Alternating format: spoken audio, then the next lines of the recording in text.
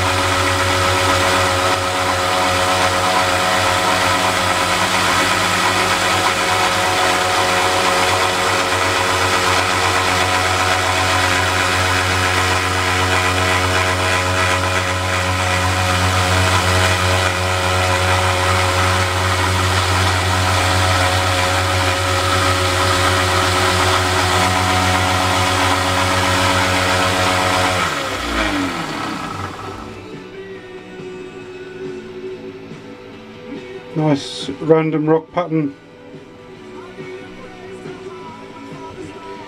Good look at it and fill in where you need to.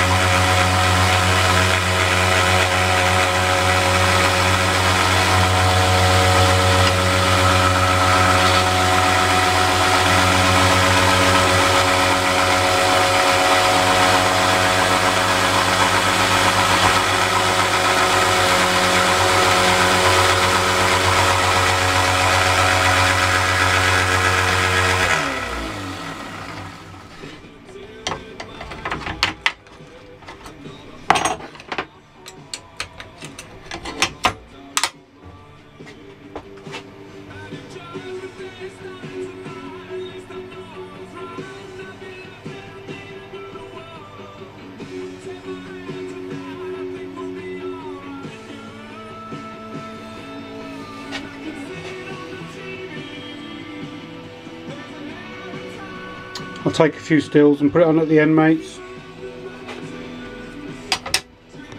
Alright, have a good one. Well, there is after a buff. And one pattern on the flats. And the other pattern on the top. It's had a quick buff that is. Don't think I'm going to get a super high polish. I think that's what we really need to go for.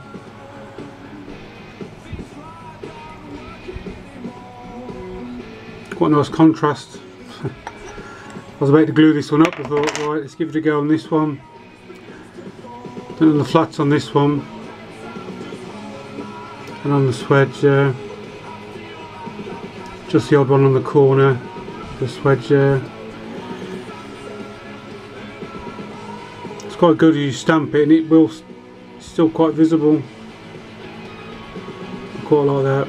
I think the other two.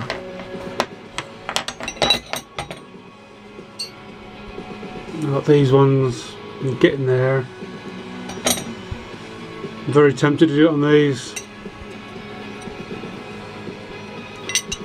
Not done a great deal this week. Just struggling with this heat especially at work. So um, only really got in the workshop a couple of times this week. But yeah back at you Mars give this one a go. Let's see your results. Thank you buddy. Have a good one everybody